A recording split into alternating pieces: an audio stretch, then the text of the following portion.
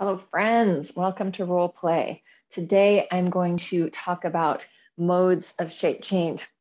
And those are kind of how we relate within ourselves to the systems in our body, how we feel within and adjust within, and then how we start to bridge to the environment, and then how we fully 3D interact with the environment. So, that's a quick intro to what this class is going to be about. It's participatory. Get down on your floor, do it in your chair, roll around in your bed, however it works for you.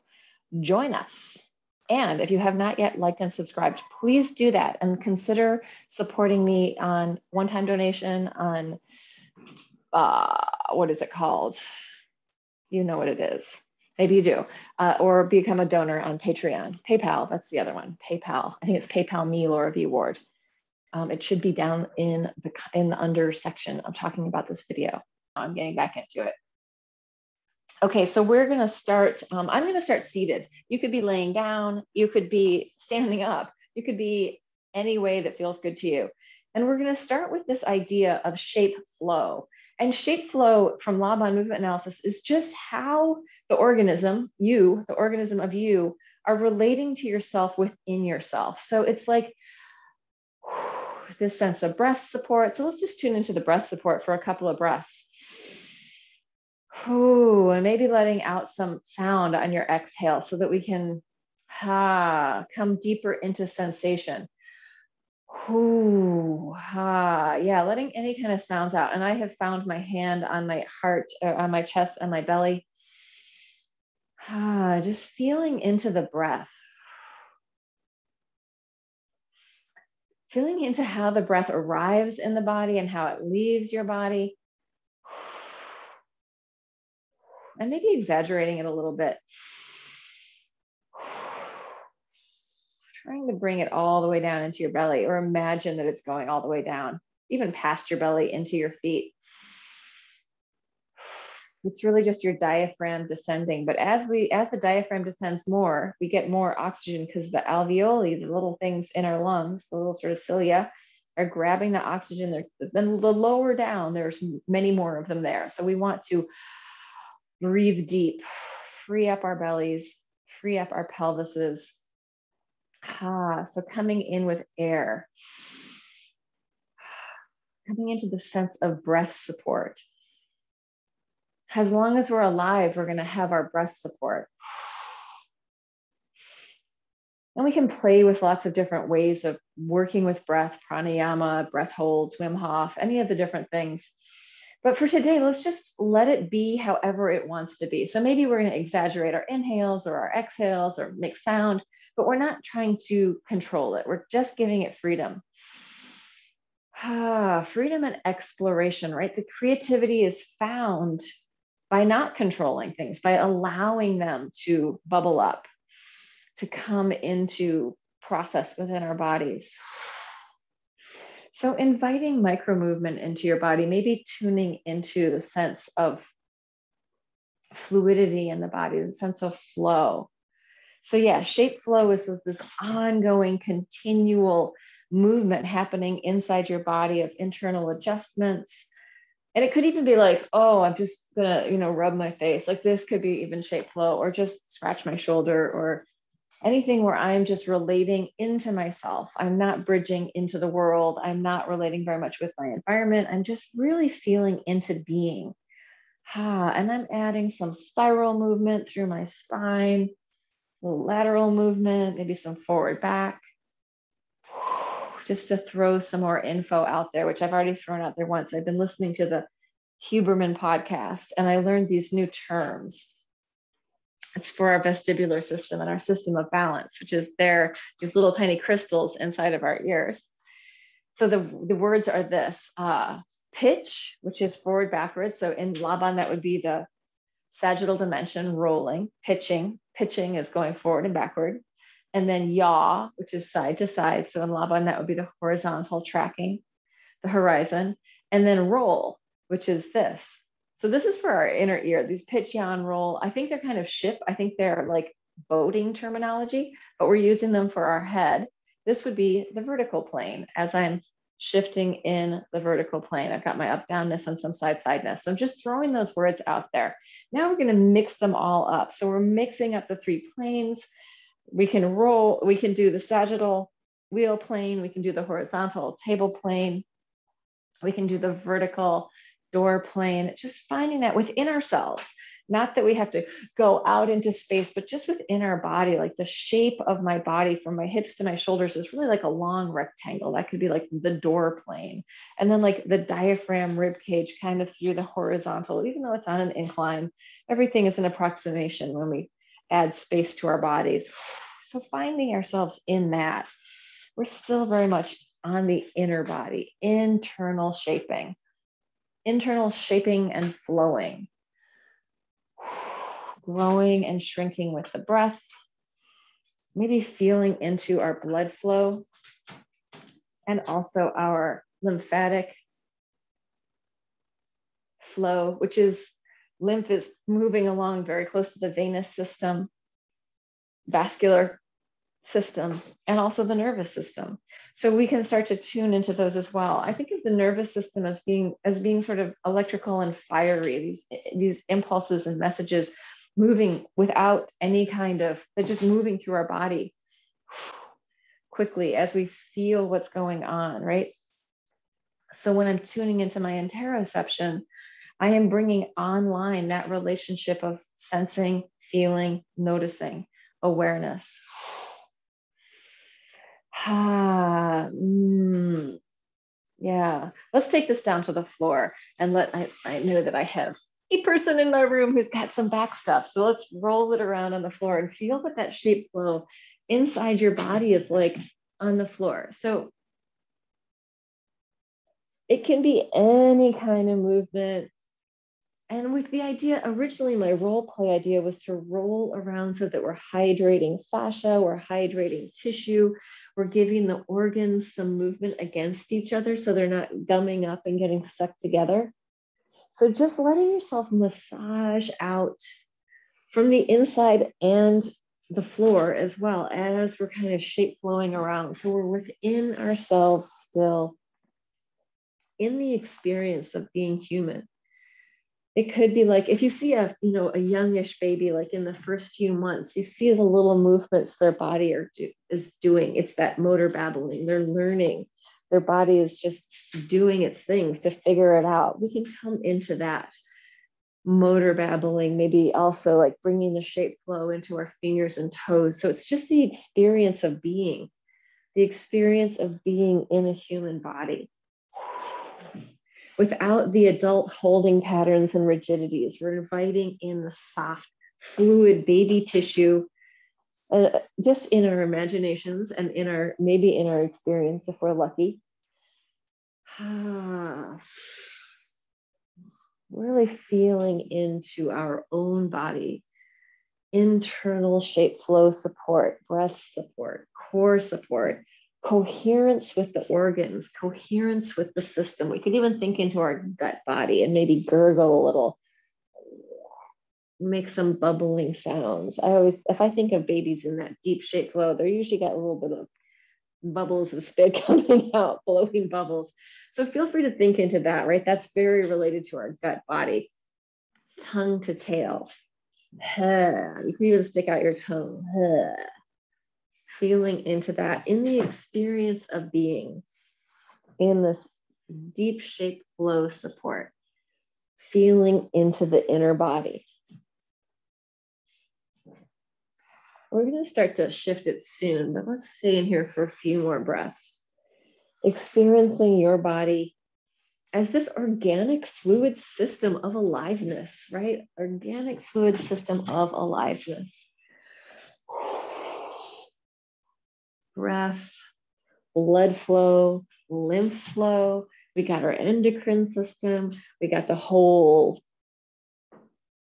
parasympathetic rest and digest, soothe and subtle thing kind of coming online as we're moving around in this. Hopefully, it's not too activated and sympathetic, but maybe sometimes it pops in like something, what's that? But let's try and keep it in so that we're still in the shape flow, inner body, internal support, just as if you are a sea creature or a piece of seaweed moving in the water. Ah, finding the deliciousness of being inside without rigidity, just surfing into sensation and deliciousness.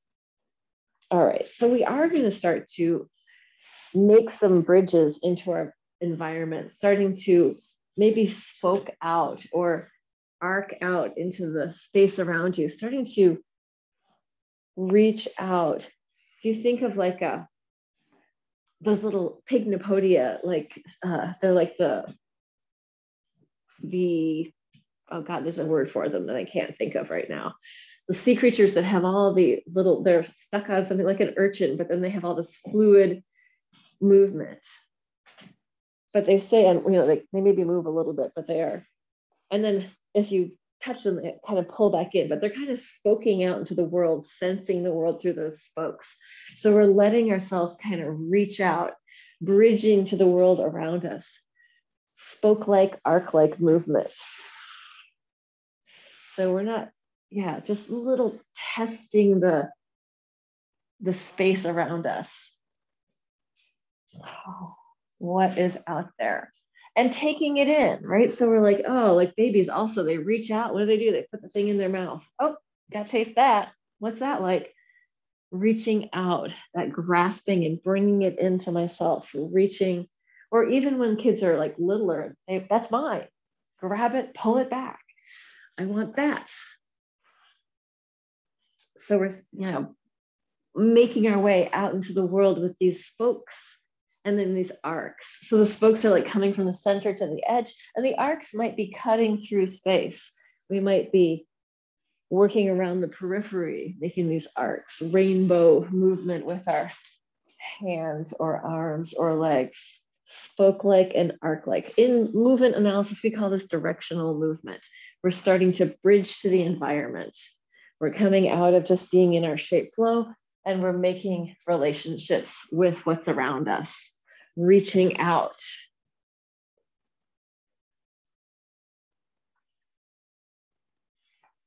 Connecting in, trying things on.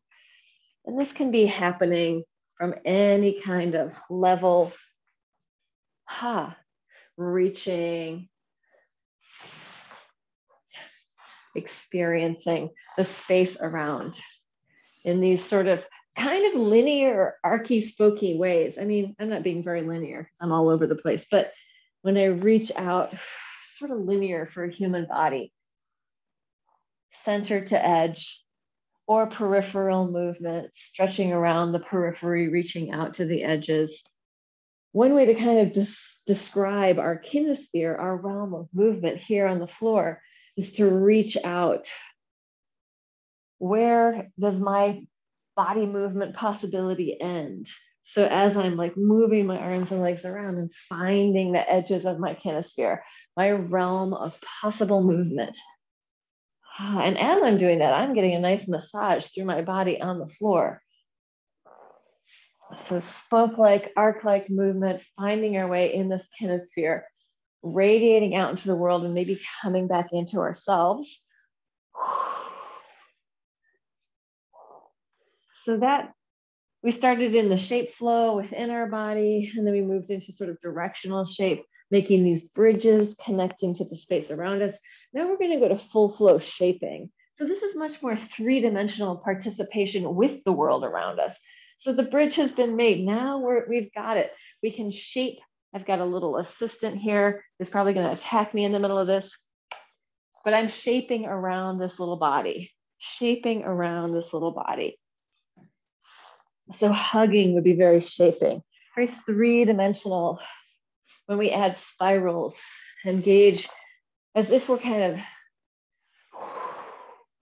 moving through an environment that contains something. Could be like molasses, contains molasses, or making my way through some plants.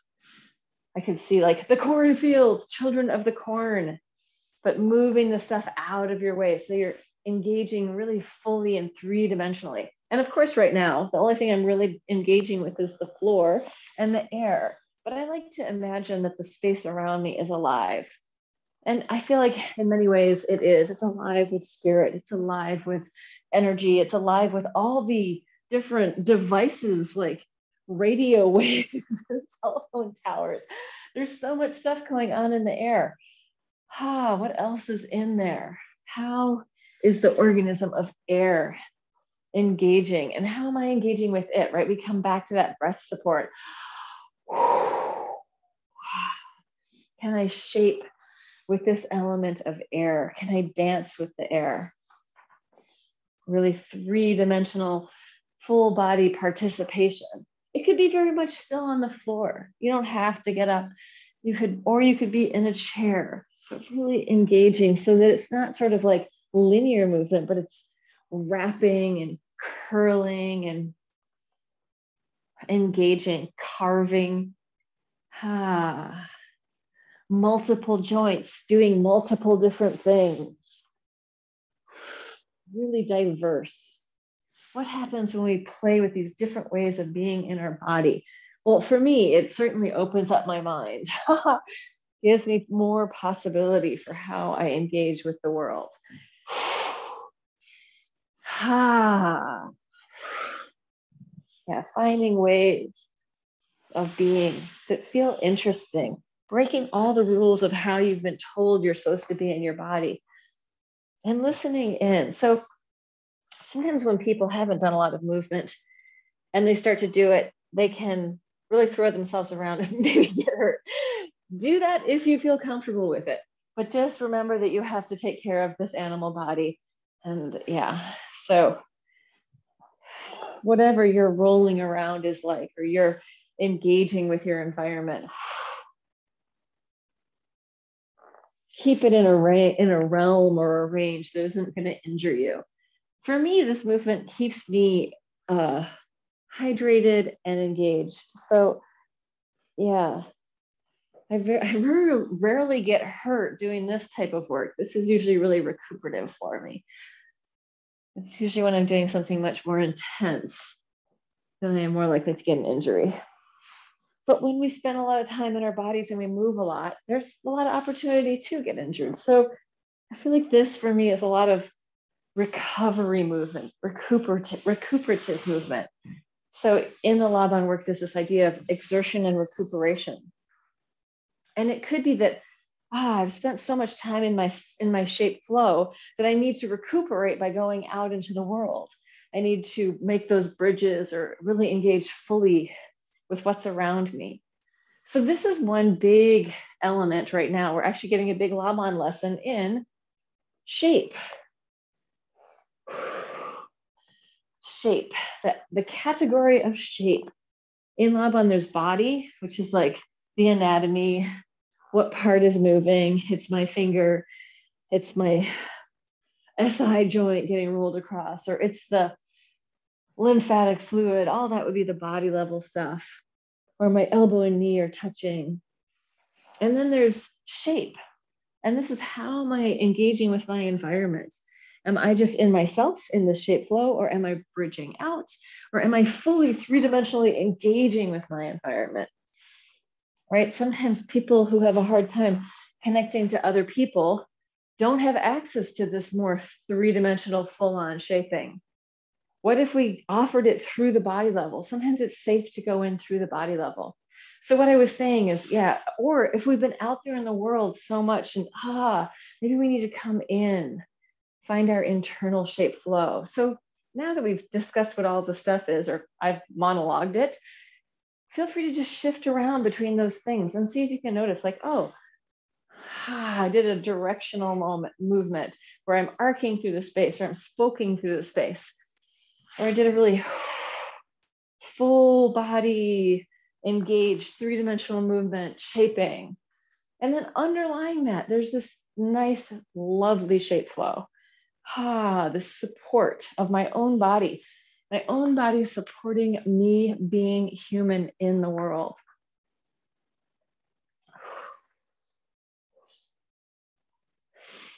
So I'm going to add music for our last little section. And it will again be Geoff Gersh Ambient Fields. Thank you so much, Geoff, for this. You can find him on Bandcamp. Amazing, amazing work. Let's go with this one, Ambient Fields.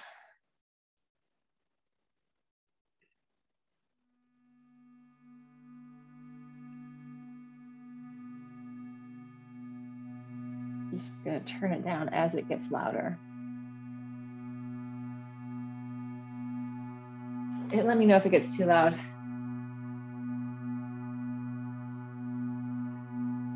Yourself experiment, experience, play with what feels good and interesting.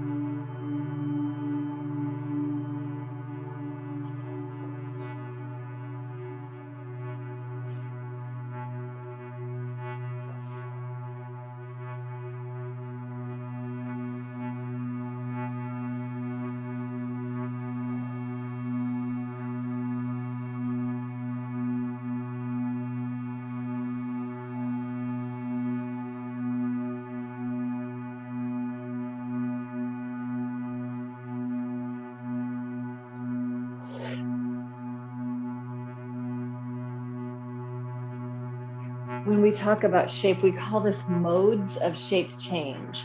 And it's how, yeah, how we're engaging in the world or within our own body.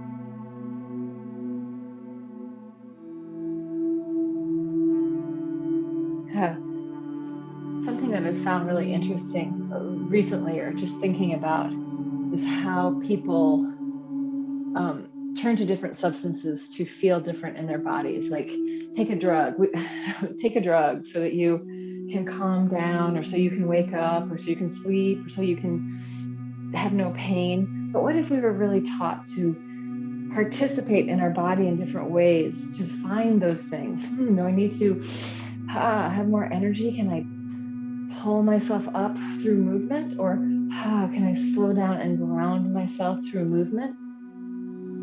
Yeah. Can I micro dose with movement? Ah, clearing up the patterning that isn't serving me, or at least inviting some spaciousness in there.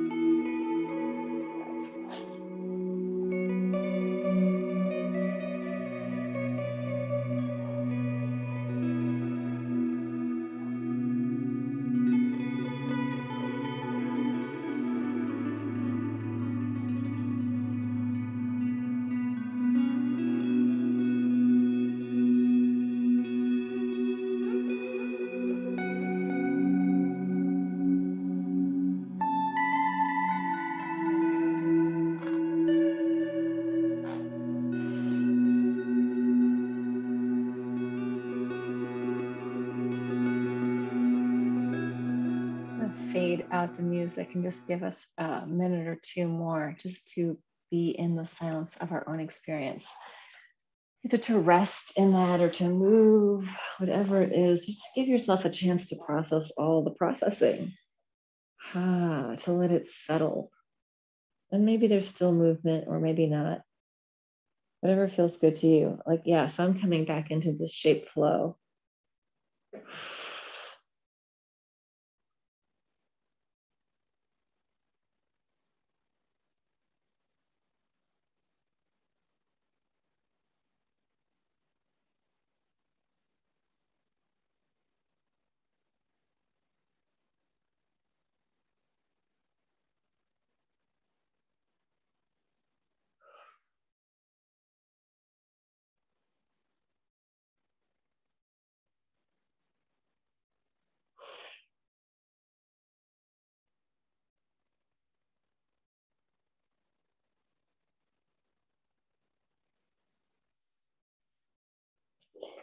Unclenching the fist of being. Ah, moving into the lightness, the fluidity. Hmm. Inviting in the good stuff, the juicy stuff, and allowing the other stuff to, di- to, to digest and to feed you in a weird way, to compost